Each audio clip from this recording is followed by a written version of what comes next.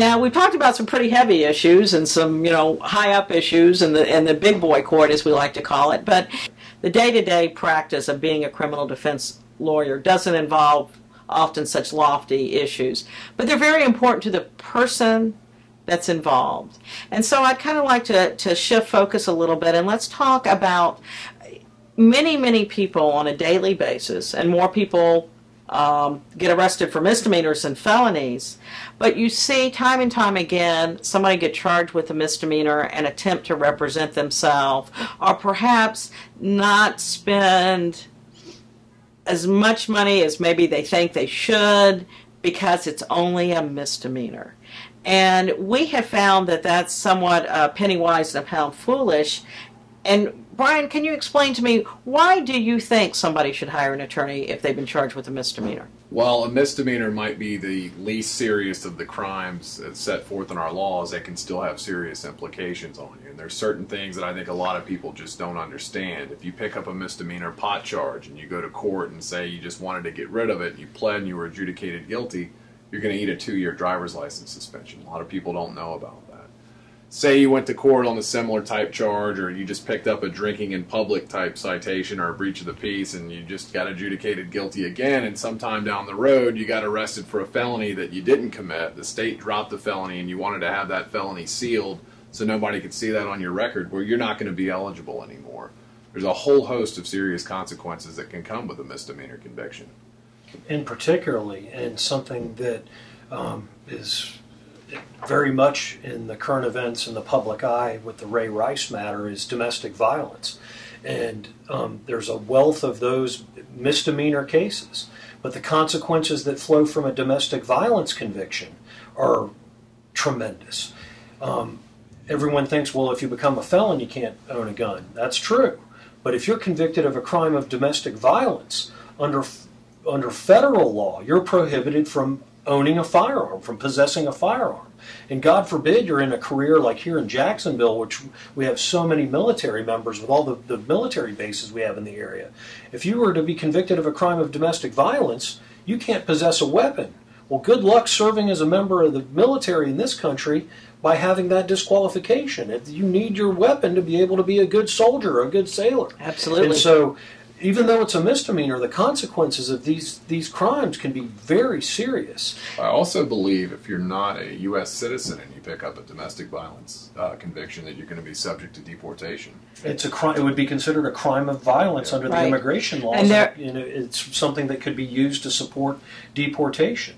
As can other misdemeanors. As can other misdemeanors. Certainly. Uh, and the other thing that we see with misdemeanors is that they can layer the cake, so to speak. Exactly for example, the the classic example is petty theft. You picked up one of those, two of those. Oh, it's not that big of a deal. Well, when you hit that third one, it can be charged as a felony. So it may not have been that bad the first couple go rounds, but all of a sudden you find yourself in felony court and you might end up being a convicted felon. Likewise, not even domestic battery, but simple battery, bar fight, you know, what have you.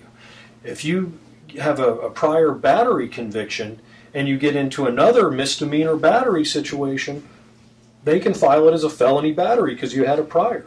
And that's the direct, immediate legal consequences. There's a host of and let me interrupt you here too because we haven't even talked about driving while license suspended because that's what i think a lot of people don't realize also. You're stacking those driving while license suspended and you rack enough of those up and you're going to find yourself not only in felony court but we have seen people who they're either were not adequately represented or thought they could represent themselves that have ended up in state prison for suspended license. And, and I think people don't understand that. And it's very easy to happen. Um, as we, anyone who's been to court knows, it's an expensive proposition. Not just the lawyers, but at the end of the day, if there's a disposition, they impose court costs, and they're routinely several hundred dollars. And if you don't pay those, they'll suspend your license. And the vortex gets deeper yes. and much deeper and harder to dig out of. So that's one of the, the important matters of getting an attorney is somebody that's been on that battlefield before, that knows where the mines are, that can avoid setting them off and blowing your legs up, that can get you through the process in damage control. And that's just directly in the criminal setting. the collateral consequences that go with a lot of these crimes domestic violence, possession of even misdemeanor marijuana, but certainly drugs. A lot of these crimes, if you go to get a job, they run a criminal history and they see this, you're immediately taking yourself out of the employment pool. Are you, You going to to rent an apartment? Get an apartment. They run a background check. You have one of these convictions on your record drugs, domestic violence, or a whole host of other things. They'll disqualify you from being a renter. So it's not just what happens in the courtroom, it's what happens months, years later outside the courtroom that people may not appreciate what they've done by representing themselves or not going with the caliber, caliber of counsel they should have had. and even issues like I want to buy a house. People don't realize that criminal convictions affect your credit score. And I think for a lot of people, they think, I'm going to go in there, I'm going to take care of it. That's what I'm going to take care of it. I don't want to spend X amount of dollars, but they don't realize that they are going to be spending that money over and over again in other ways. You were talking about uh, why you hire an attorney, but one of the other things that an attorney can do for you at the end of the case is to see if you're eligible for a sealing or expungement. And can you, eh, we've talked about this, I think, before, but it's very important. Many states do not have the ability to seal or expunge records, but Florida does. It's limited. You only get one shot at it. But explain for people what that is and why it's so important. as Bryan said earlier, um, it's important how you handle your criminal matter. As Betsy said, in Florida, you have one bite at the apple. If you have a case and it's dismissed, they don't file charges, you're eligible for an expunction, meaning under the statute, the records are obliterated, destroyed, forever gone. Um, if you go to court and are able to secure what's known as a withhold of adjudication under Florida law, which under Florida law does not count as a conviction, uh, there are certain st- settings where they treat it as such, but generally, as a matter of Florida law, a withhold of adjudication does not count as a conviction. If you receive one of those, you can have your record sealed. Back before everything was digital, literally, the clerk would put a piece of tape around the file and it would be sealed. Now they do it digitally, it's sealed off. But what the, why that's important is if someone were to, to seek the public records regarding that conviction, run a background check through FDLE, go to the sheriff's office and ask if a person's ever been arrested, the answer that they will receive if you've had your records sealed or expunged is no.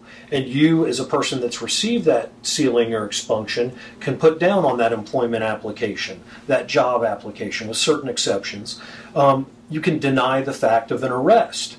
Um, and so it's valuable to have that criminal case handled well so that at the end of the day you'd have the benefit of receiving that so that it protects you from these collateral things later rent appli- you know lease applications employment applications college applications to be able to deny, deny the fact of an arrest and not have that in the public domain is very important. But you need to have the criminal case handled appropriately because as bryan said if i picked up a, a, a ordinance violation for spitting on the sidewalk that was treated as a misdemeanor and I pled it out at first appearance because I wanted to get out of jail and the judge adjudicated me guilty for spitting on the sidewalk and later on God forbid the person was to pick up a, a somebody falsely accused you of rape, for instance. Somebody made a false accusation of a very, very serious offense, and and the charges are dismissed. You are stuck with that. And and I think a lot of people don't realize that that these very minor charges can have very serious consequences later on because it limits your ability if you are wrongfully charged with a crime to get that wrongfully charged crime off your record. And that's why it's so significant. any conviction, not just for the crime that you're trying to have sealed, but anything that you've ever been convicted for prevents you from getting a record sealing Yes. or expunction. It's a disqualifier. And, that, and that's why no matter how big or small the crime might be, and even if it is an ordinance violation, like Matt said, you need to have a well-trained lawyer to handle the charges for you. And and talking about well trained lawyers, because anyone that sees our site and knows anything about us or researches us knows that in addition to be being criminal defense lawyers, we're also civil rights lawyers. And uh, Bill Sheppard truly was the first civil rights lawyer in the in the city of Jacksonville. There there really was not, uh, well, with the exception of Sam Jacobson, I would say he, Judge Sam, yeah, Judge Manus. It was it was a a, uh, a very uh, select club, mainly because no one else wanted to do it. Uh, you had to have a real desire to be a civil rights attorney in the late '60s and the early '70s. You didn't get uh, there, you weren't paid for it. There was no ability to recover your fees, and you did it for love. Um, to a certain extent, you still do it for love, but you try to get paid at some level. But Bryan, I think a lot of people view I, I have a civil rights case. My uh, the police wrongfully arrested me. Why can't I sue them? Or why can't why isn't a, a, a, uh, police officer beating me like a car wreck? I don't think a lot of people understand the importance of hiring an experienced civil rights lawyer to handle their case. So, talk to us a little bit about why isn't a civil rights case just like a, a car wreck case? What makes it different? Well, if we go with your police example, um, there's several immunities that the police have built up that go way back to our time over in England before we ever came over here that just aren't as simple as somebody hit me and they did something wrong. Um, and oftentimes these cases end up in federal court, which requires a lot of research and writing, which I think the majority of people that just do car crash cases aren't really comfortable with doing. And these cases take a long time, and we're experienced in them, and that's why we'd like to uh, help you out on that.